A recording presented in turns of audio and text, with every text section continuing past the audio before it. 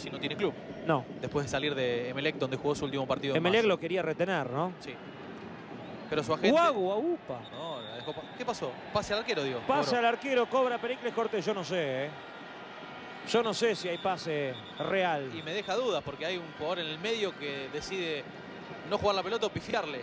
Entonces el primero, el que toca la pelota hacia atrás, no tiene intención de jugar la pelota al arquero. A ver. No, no. No, no, no, no, no, no es el espíritu de la regla. Esto es para evitar que pierdan tiempo y hay diferentes cuestiones que el árbitro debe considerar. Esto no es un pase Le atrás. pifia a Guagua. Le pifió Guagua y el arquero la tomó. Ninguno de los dos está en infracción. No, no coincido para nada en el árbitro. El remate. Tapó Rifle Drer. Bien por Esteban Drer. Otra vez el intento pelota al área sale Drer.